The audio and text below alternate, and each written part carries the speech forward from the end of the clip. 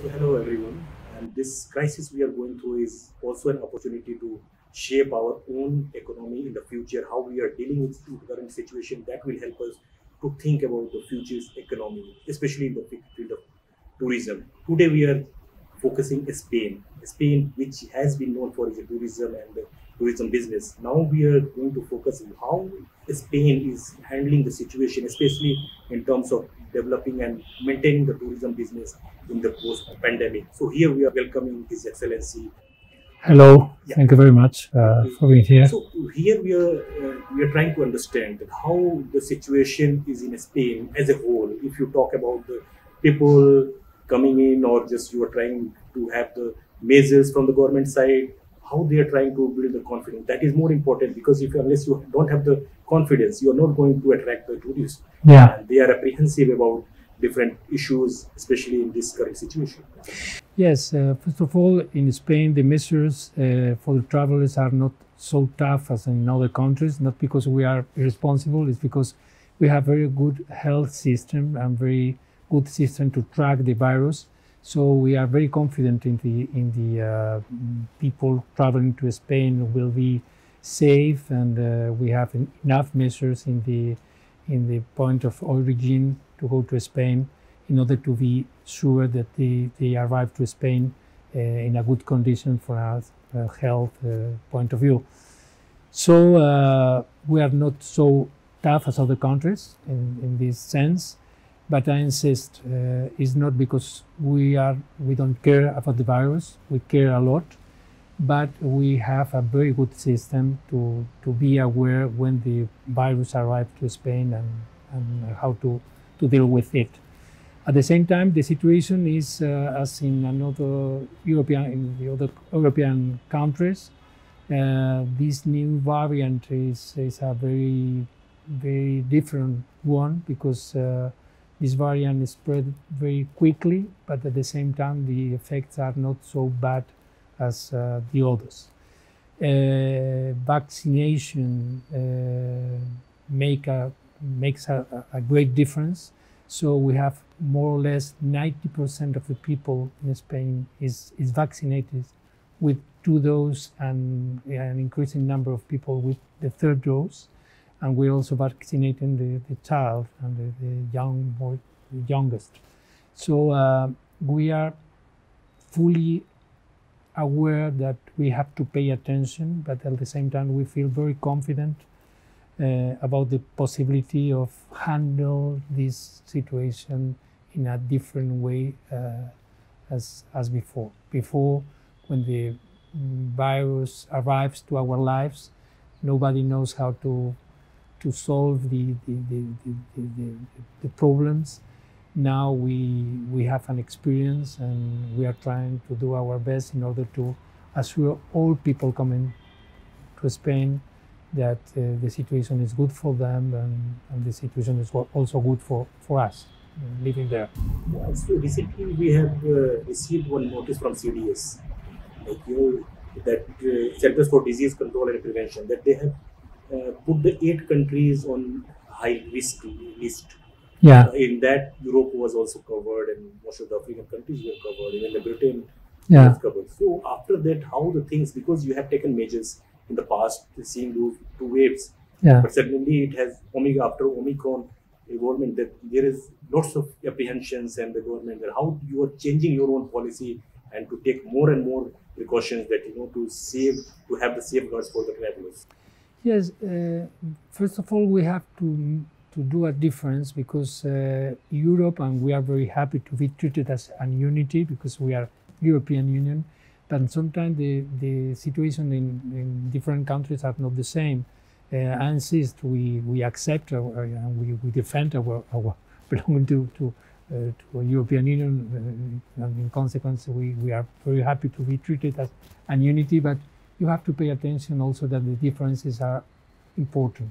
It's uh, the same thing in, as in India. So it's not the, the, the situation in Delhi or in Maharashtra or in Kerala are not the same, but you are treated as an unity. So this is uh, an important point. At the same time, we are trying to, to coordinate all, the measures in, in Europe, in the whole Europe. uh, because it's important to know that once you enter in Spain or other countries, you have the possibility of going to uh, uh, all the European countries, and it's very important for us to be coordinated in order not to have differences in, in our approach to the to the virus. So uh, I understand quite well the, the, the putting Spain in a risk, a level of risk which is not, not easy to, to, to, to handle, to travel there. But um, I assure you that uh, the measures in Spain uh, are enough to be sure that travelers there are, are safe and, and we also are safe. So uh, uh, I understand because uh, it's, it's, important to know and to respect the decision, but uh, not to to to create an anger or, or, or, a, or a, fear about the, the situation in Spain. Data are important, but uh, it's important to to say that these figures about pandemia is because we have the possibility of tracking very accurately which is the situation of the virus and not because the situation is out of hand or, or, or impossible to handle. This is a very important difference also. So you talked about the uh, very minute tracking, a very depth you know, monitoring system that you have developed. Yeah. From there, from the uncertainty to the sustainability, if you talk. Yeah. You know, because this is a situation we are uncertain about the things that what is how it is going to move. Yeah. But Spain has been known for creating the sustainable and innovative model of uh, tourism. Yeah. So how does that policy that has been evolved to create a sustainable tourism is this affected due to this restriction or is still going on the same pace as it was planned? Yes, I think we have to, to approach this uh, this new idea of tourism in a, in a broader uh, view, because it's not only because of the pandemic or, or we are trying to change to another model of tourism is because we want to offer a huge range of, of uh, possibilities of, of, of the, the, reasons for visiting Spain.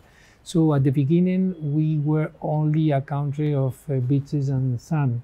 Now we have put in, uh, in the first uh, range uh, culture also. We, we have uh, several museums in the world which are the most important, Picasso, Miro, and, and others.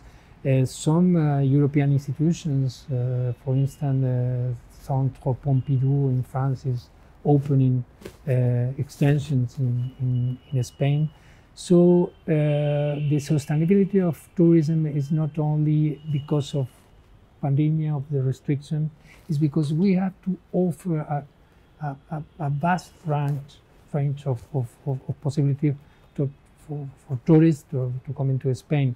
So sometimes it's very good to have uh, this uh, beach and sun tourism, but we have uh, other things: gastronomy. We have culture in the in the more uh, restricted uh, sense, uh, theater, opera, and museums, mm, painters, and all these things and at the same time if you have this approach uh, you you are uh, getting more people involved in the in the in the in the tourism as a phenomenon and uh, not to concentrate only in the coast or in some parts of Spain so the, the huge country is ready to receive tourists um, and in this sense is more sustainable can you elaborate the new strategy of sustainable tourism for 2030 that the government has adopted?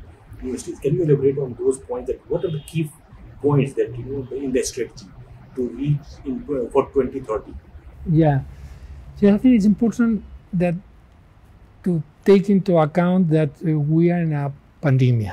So uh, sometimes uh, to to think very far away is not to pay attention to the real situation. So the the ideas have not changed. So we we want a, a very huge range of of um, offer to tourists, uh, safe and uh, from a, um, a, health point of view. but at, at, the same time, we, we want people to to uh, to know that Spain is not only these stereotypes we have had in the past. So that's why we insist in in these cultural aspects, these gastronomy aspects, that uh, uh, landscapes and uh, and uh, environment and, and these other things. So in this sense, tourism is not different. It's not uh, it's not an isolated case for the approach of the government uh, to the whole development of the country. So we are engaged with the environment. We are engaged with uh, a culture. With a, we're, we're engaged with uh, some sort of of, uh, of uh, new idea of Spain, projecting a new image of Spain. We have um, marvelous research in the scientific uh, research. We have uh, marvelous uh, literature. We have all these things, and uh, the government has tried to, to put these things uh, in the in the in the first stage. So uh, tourism is not is not different from this you talked about the environment that is very very critical at this point of time especially after glasgow summit in uk yeah. So that uh, and we have heard some news of drought also from spain some yeah. part of areas some drought and the level of the reservoir of water that is going down and some issues were there. So what was the reason that uh, we are facing those situation? How it is not being controlled especially in the developed countries they have to take measures uh, severe measures. Yeah. It, it, we must do a difference once again. So we have drought, but we we don't have problem of water. So uh, one of the idea of the development in Spain is just precisely to have the, the means and to have the, the, the tools in order to solve all the situations. So you are uh, we are aware that in some part of Spain there's a desert. It's not it's not a, a, a forest. So we have a, a huge variety of, of uh, of, uh, of landscapes and, and realities, uh, geographical realities. But which is more important is since the, more or less the democracy came to Spain, uh, one of the most important idea of the, the successive governments was to, to solve these situations. When I was a child, a drought means problems of water. Now, not at all.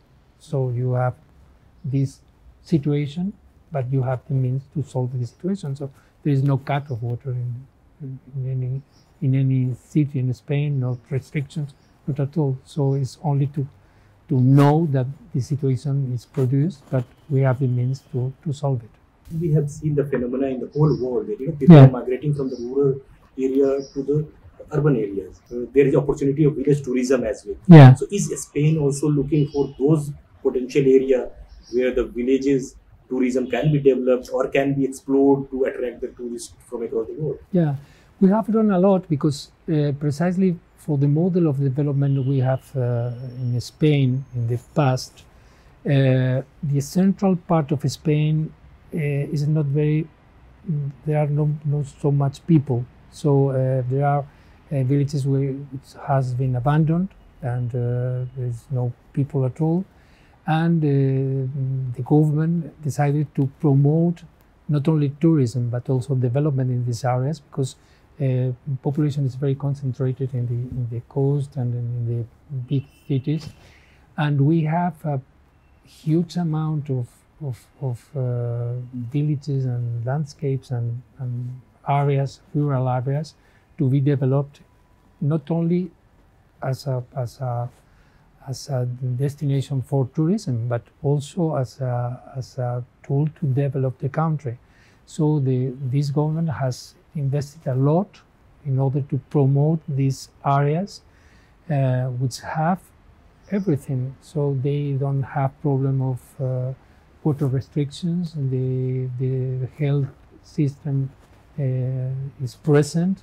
So uh, the only thing is to, to create the, the, the conviction that you can go to these places for tourism or to live there. because with the uh, online work, uh, these areas are being very,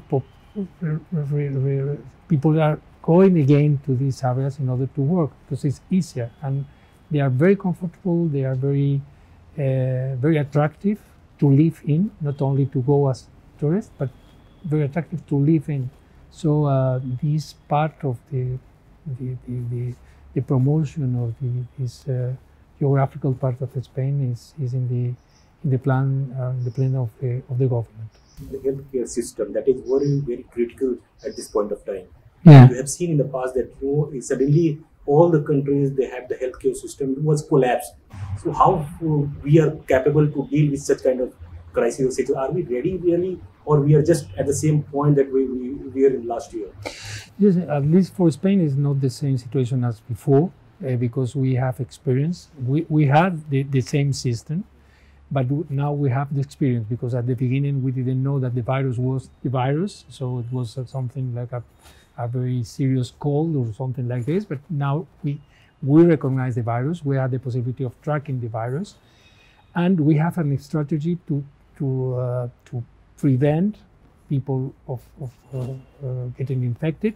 But at the same time, when they are infected, there are several levels of, of sanitary levels in order not to collapse the, the, the, the, the hospital for the most serious cases. So now there's a huge pressure in Spain with Omicron variant, but at the end, uh, the only system which is under pressure is the primary primary system, not hospitals with the uh, unit of, of intensive care and, and this thing. So they don't have problem at all because they are trying to, to, to apply a strategy in which there are several levels and only the first level of this strategy is now under pressure.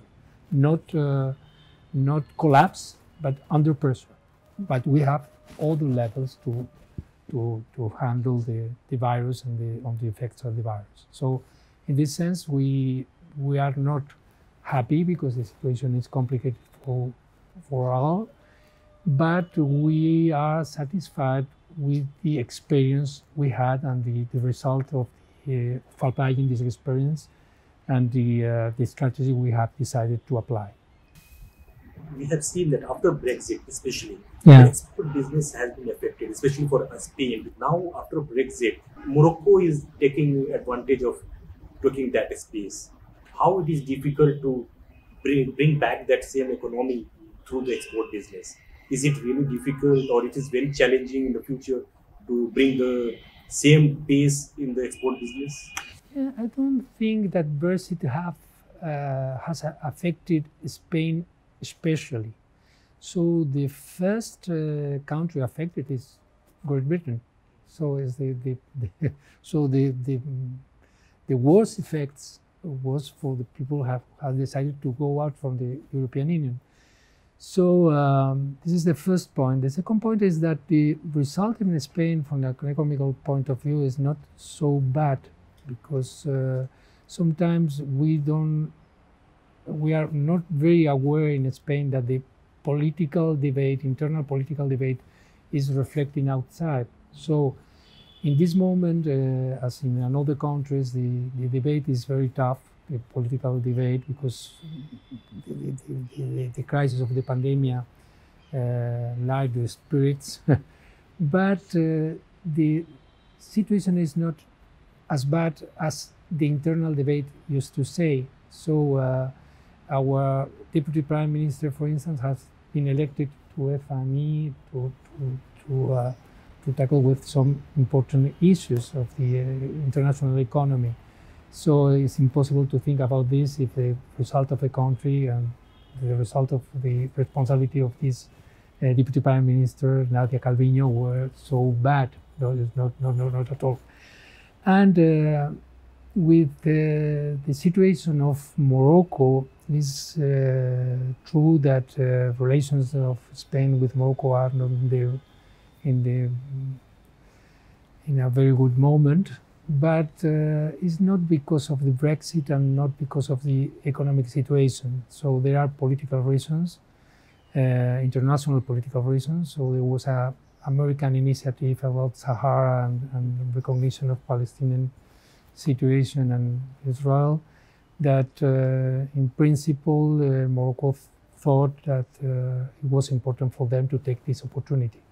So for Spain, it's not easy because uh, we respect the, international law, and um, it's, uh, it's not clear that the American initiative, uh, Trump's President Trump's initiative, is very um, respectful with the mm, nation, United Nations uh, resolutions and these things. So um, Morocco think that uh, is uh, perhaps that uh, we don't want to to go ahead. We want to be to go ahead, but inside international law. United States, we are, which are also involved in this situation. Uh, Biden's administration, President Biden's administration, is in the same position of, uh, as us. So uh, I don't think that Morocco is taking advantage of the situation because the situation is not to take advantage of. So it's another thing. It's a political issue. Uh, we we would like to solve. We are ready to solve because we we feel very close to, to Moroccan people, to, to Moroccan uh, culture and everything. So it's not, it's a little bit sad for us to have this political situation, but we are convinced we will solve it and it will be in the mutual interest of Morocco and, and Spain. Yeah, it's good that you highlight lots of positive aspects of the health, environment, lots of things we have discussed. Now, at the end, we are just going through the wave three of pandemic. Yeah. And we are preparing for the Madrid Tourism Festival as well. Yeah. Because at the same time, we are apprehensive about the situation is coming in next two months or one month. Yeah. But we that is the biggest market for all Latin Americans. Yeah. So how you will see that is it possible or we are taking extra measures to to have that kind of festival with the safeguard? So uh, I think it's a little bit risky to to to speak now about February because uh, I insist the the behavior of the virus in South Africa is uh, perhaps an example. We all hope that will be an example. So the increase is very quick, but at the same time, the decrease of the, the, the infections are also very quick. So perhaps it was the same model for the rest of the countries. We don't know. So it's a little bit risky to think about February. The only thing I can say that the, the engagement of the all, all agents involved in the preparation of this event is strong. Uh, and I am sure that will be a, a, success because if we have the possibility of having this event presentially, it will be a success. But even if we have to do something online or something another way, it will be a success because all the time we pass uh, with lockdowns, with uh, fear, with uh, these situations because of the pandemics, are fueling a new age for tourism, a new desire of visiting our countries to, be, to visit to each other. And uh, online or presentially, I am sure that we will put the foundations to, to have a very important increasing of tourism, safer, uh, great uh, amount of travel because we desire, we all as citizens, as individuals, we want to, to, to restart to travel, to, to know each other, and to, to know our respective countries. So I'm sure that will be a great success in another way, in a way or another. Thank you so much, Mr. Ambassador. It is nice talking to you, and we have discussed a lot about the, how the positivity is still prevailing, in, especially in the time of COVID. So we are expecting that another round of discussion with a different country and different perspective. And thank you so much for watching.